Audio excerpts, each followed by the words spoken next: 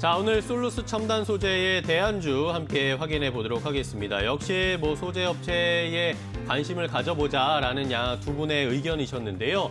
자, 시장 1위의 지위를 갖고 있는 업체로서 두산 퓨얼셀과 DI 동일을 한 분씩 가지고 오셨습니다. 과연 두산 퓨얼셀과 DI 동일 어떤 종목이 더 솔루스 첨단 소재의 대안주로 더 좋을지 자세하게 비교 분석해 보도록 하겠습니다.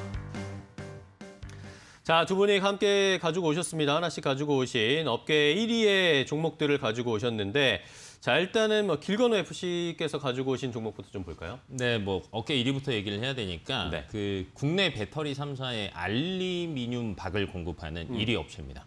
네, 음. DI? 동일 같은 경우 DI 동일 같은 경우가 네. 예, 알루미늄 박을 공급하는 1위 업체인데 DI 동일이 가지고 있는 이제 연결 자회사들이 조금 많아요. 이제 어. 그 중에서 동일 알미늄이라고 하는 업체가 이제 이 배터리 3사의 알루미늄 박을 공급하고 있고요. 네. 그다음에 이제 동일 CNC, 플라즈마텍 이렇게 세 가지 회사들이 조금 장사를 잘한다라고 생각하시면 되시는데 기존에는 원래는 뭐 알루미늄 박도 있었지만 원래는 방직 사업을 많이 하고 있었고요. 어 이제 최근 들어서 이제 전기차 배터리 소재주인 뭐 알루미늄 박이 뭐 매출이 조금 많이 살아나고 있고 네. 플러스로 환경 설비 사업도 하고 있습니다. 어. 네, 여러 가지 많이 하고 있는데 여기에서 이제 특히 이제 전기차 소재 쪽이랑 환경 설비 쪽에서 이제 매출이 앞으로 조금 더 나아질 것으로 예상이 되고 있고요. 어, 추가적으로 이제 환경 설비라고 하면은 그 일- 일반적으로 어, 환, 대기 오염 물질을 방지하는 어, 이게 밖으로 나가는 걸 방지하는 설비들을 이제 대기업에 공급을 하고 있는데 네. 저희가 아는 회사들이 많습니다.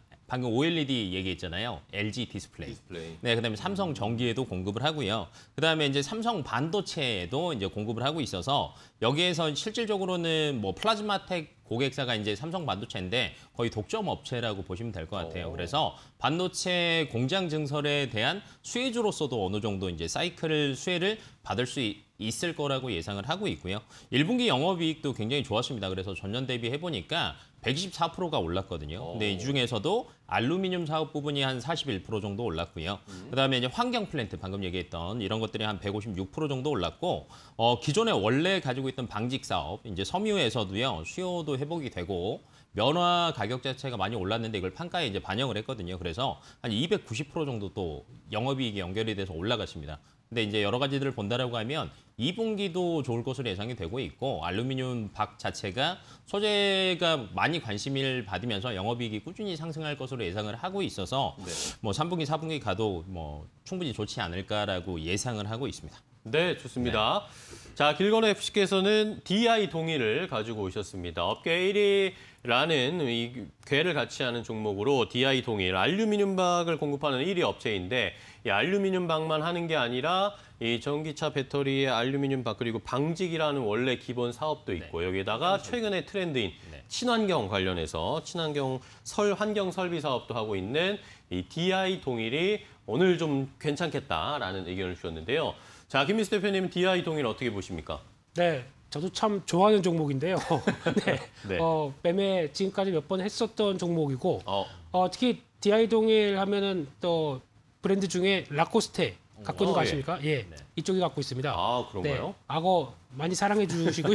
근데 이 회사가 일단 어, 과거에 한 7, 8만 원대에서는 상당히 저평가였습니다. 자산 대비 네. 저평가가 뚜렷했다가 이를 많이 회복하면서 특히 어, 동일 알루미늄과 관련된 부분들이 계속 어, 부각 가지면서 움직였다고 하게 되면 지금 가격대는 일단 그래도 많이 저평가를 해소했고요. 네. 지금부터는 성장의 모멘텀입니다. 그래서 말씀드렸던 환경 사업이나 어, 그리고 나머지 어, 어떤 2차 전지 관련된 모멘텀들이 같이 이어지기 시작하게 되면 지금부터는 충분히 실적만 보고도 어, 한 번 더 레벨업을 시도할 것이다라는 관점 쪽에서 좋게 보고 있습니다. 네, 좋습니다. DI 동일에 대한 김민수 대표님의 평가.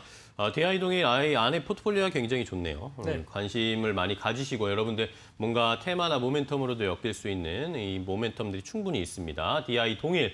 어, 김민수 대표님의 평가까지 들어봤고, 자 그럼 김민수 대표님은 또 DI 동일에 대항할 만한 두산 퓨얼셀을 가지고 오셨습니다. 소개해 네. 주시죠. 일단 어, 솔루스 첨단 소재가 예전에 두산 솔루스였죠. 그러다 보니까 같이 두산 계열에서 뭔가 변하고 있는 회사를 찾아보자라는 어. 관점 쪽에서 어, 두산 피얼셀을 말씀드리는데 이제 두산에 대한 약간 부정적인 이미지를 벗는다라는 관점 쪽에서 바라보고 있고요. 또 하나 어, 이 회사도 국내 시장 1위 지위를 갖고 있는데 예전에 두산이 하고 있던 대표적인 발전용 연료전지에 대해서 어, 또 드라이브를 걸고 있는 네네. 대표적인 회사인데요. 근데 지금 최근에 시장을 흐름을 보게 되면은 요즘 KGETS라는 회사 좋은 회사죠. 네, 예, 무섭게 올라갑니다. 예, 주가가. KG그룹 좋은 회사죠. 네. 네. 여기서 지금 반영되고 있는 게 집단 발전 사업자 관련된 쪽에서 재평가가 지금 나오고 있는데 음. 이런 현상들이 이제 발전 의무화 제도가 지금 바뀌고 있습니다. 여기서 좀 설명을 자세하게 드리면 상당히 네네. 어려워지는데 네네. 쉽게 말씀드리면 이 RPS라고 하는 집단 에너지 사업이 이제 조금 더 추가시켜서 HPS라고 하는 그러니까 즉 오. 수소 발전 의무화까지 바뀌게 됩니다. 그런 쪽이 이제 확정이 아마 연내 되기 시작하게 되면 거기서 주된 역할을 하는 이 연료 전지가 관련된 쪽도 시장이 커질 수밖에 없고요. 그런 쪽에서 어, 두산 어, 퓨얼셀도 이를 어, 좀 더 수주의 기회가 높다라고 하게 되면 하반기부터 수주는 크게 늘어날 가능성이 높습니다. 이 부분에 초점을 맞춰야 될 것 같고요. 게다가 또 하나 지금 이 선박용 연료전지 관련된 쪽의 부각이 큰데 이제 선박도 친환경 쪽으로 바뀌겠죠. 그런 관점 쪽에서 글로벌 선사와 이 나빅 H라고 하는 회사와 같이 조인트 벤처를 설립했는데 그렇게 되면은 앞으로 선박에 대해서 중요한 변화를 어, 친환경 쪽으로 끌어갈 때 하나의 또 수주 모멘텀이 커진다라는 부분들 눈길이 가고 있고요. 네. 그래서 앞서 말씀드린 것처럼 전반적인 실적 동향들이 하반기 이후부터 커진다라고 하게 되면 이를 반영하는 실적 동향이 아마 어, 내년 같은 경우는 영업이익이 한 600억까지 올라온다라고 했었을 때 상당히 빠른 실적에 대한 기대감을 보여줄 수 있겠다는 쪽에서 또 하나의 중요한 어, 발- 요즘 보면은 발전 관련된 여러 가지 어, 흐름들이 상당히 또 가팔라지고 있다는 쪽에서 눈길이 가고 있는 대표적인 회사라고 봐야 될 것 같습니다. 네, 좋습니다. 두산 퓨얼셀을 김민수 대표님이 자세하게 어, 설명을 해주셨습니다. 자, 발전용 연료전지 1위 기업인 이 두산 퓨얼셀 역시 뭐 친환경과 역시 엮이면서 어, 모멘텀을 받을 수 있는 여러 가지 이슈들이 있네요. 기, 어, 길건우 FC님은 어떻게 네. 보세요? 뭐 이제 정책 발표가 아마 하반기 3분기 때는 나올 것으로 예상이 되고 있어서 이제 정책 발표가 되면 실질적으로 이제 매출 자체는 내년에 조금 안정적으로 이제 잡혀질 것으로 예상이 되고 있고요. 매출이 어느 정도 이제 기존의 1위 업체기도 하고 네. 수주 단가나 이런 것들을 계산을 해보면 가치가 한 그래도 한 1조 원 정도는 될 거라고 또 오. 얘기가 나오고 있더라고요. 그래서 안정적으로 영업이익이 올라갈 것으로 예상이 되고 있고 그다음에 이제 내년 또 목표로 하고 있는 것 중에 하나가 이제 수송용 수소 시장에 또 진출하는 걸 목표로 하고 있는데 기존에 이제 뭐 생산 그 뭐 예비 공장에서 설비를 하고 있는데 어 기존 수소 요금보다 거의 한 50% 낮게 단가가 오. 책정이 돼서 이제 생산을 하고 있습니다. 그래서 네. 어 사업화하는 것도 조금 빨라질 것으로 예상이 되고 있어서 내년이 조금 기대가 많이 되는 기업이지 않나라고 생각하고 있습니다. 네, 좋습니다. 내년이 더 기대된다. 두산 퓨얼셀에 대한 평가를 해주셨고요. 자, 두 분이 이렇게 이 솔루스 첨단 소재의 대안주로 DI 동일과 두산 퓨얼셀을 가지고 오셨습니다.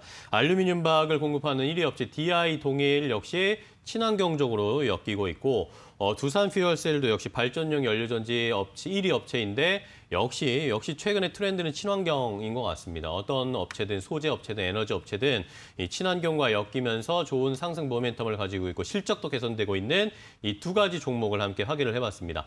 자 그러면 가격 전략 제시해 주셔야 되겠죠. 일단은 어, 두산 퓨얼셀 아 DI 동일부터 볼까요? DI 동일 가격 전략. 같은 경우 아까 이제 PBR 얘기하셨는데 PBR이 아직 그래도 이제 그 전기차용 소재 기업들 중에서는 1일 이하인 유일한 거의 기업이라고 보시면 될 것 같고요. 네. 그래서 그래도 이제 가격이 많이 오르긴 했는데 그래도 어느 정도 조정해서 한 19만 원대 한번 어, 진입해 보시는 게 좋을 것으로 예상이 되고 있고요. 네. 목표가는 한 25만 원, 손절가는 대신에 조금 타이트하게 한 18만 원 정도 예상하시는 게 어떨까 싶습니다. 네, 좋습니다. 목표가는 25만 원, 손절가는 18만, 18만 원을 네. 제시를 해주셨습니다. 18만 원 손절가를 정해 주셨으니까요. 어, 잘 체크를 해주시고요. 자, 이번엔 두산 퓨얼셀의 가격 전략 제시해 주시죠. 네, 일단 가격 전략을 말씀드리기 전에 이 회사는 좀 비쌉니다. 어, 밸류는 높다라는 점은 염두를 하시면서 어, 그만큼의 실적이 가파르게 반영되면은 이 부분이 어, 성장주 개념 쪽으로 움직이는 또 하나의 변화다라는 쪽은 체크하셔야 될 것 같고요. 특히 이제 어, 약간 긴 시각으로 봤을 때 월봉 패턴을 보게 되면 네. 어, 상장하고 가파르게 오르다가 약한 지금 한 5개월 정도 어, 주가가 좀 눌림목을 받았다가 어. 이제 막 움직이는 단계다 보니까 아무래도 그렇게 비- 주가의 패턴은 비싸지 않은 상황들이죠. 그런 쪽으로 봤었을 때 어, 한 지금 가격대 한 5만 원대 밑에 가격이 들어온다라고 하게 되면 분할 매수 관점 나쁘지 않을 것 같고요. 1차 목표가는 직전 고점대 부분까지 위치해 있는 6만 원대 정도를 바라보고 있고요. 손절가는 4만 5,500원대로 말씀드리겠습니다. 네, 좋습니다. 자, 두산 퓨얼셀 밸류는 좀 높지만 가격 최근의 추이를 봤을 때는 다시 어, 우상향하는 패턴을 방향을 바꿨다라는 의미에서 어, 가격 전략을 제시를 해 주셨습니다. 자, 이렇게 오늘 기대해도 괜찮을 종목 두 가지 확인을 해봤습니다. 솔루스 첨단 소재 대안주로 시장의 1위 업체들인 두산 퓨얼셀과 DI 동일 오늘의 움직임 한번 잘 살펴보시고요. 관심 종목에 한번 넣어두시고 앞으로의 추이 지켜보시기 바랍니다.